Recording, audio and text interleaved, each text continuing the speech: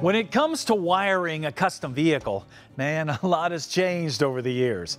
With modern computer controlled engines and transmissions and gauges and accessories. And because of that, wiring harnesses have had to evolve as well. For example, this is the Pro Series wiring harness from Painless, and it features a mountable fuse block with 23 circuits, so you got plenty of power.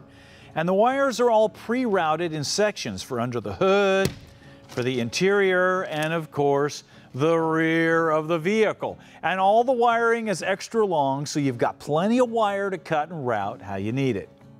The kit is also loaded with factory style connectors so you can hook up to virtually any engine, gauge, sending unit or sensor and make it look like an OEM factory deal.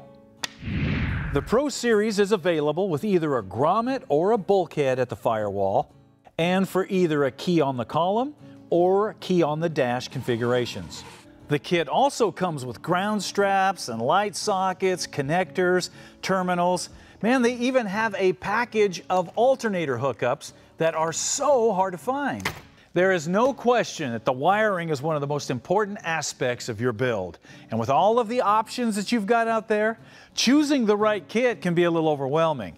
And that's the purpose of this Pro Series from Painless, to take out the guesswork and get you wired and fired and running down the road.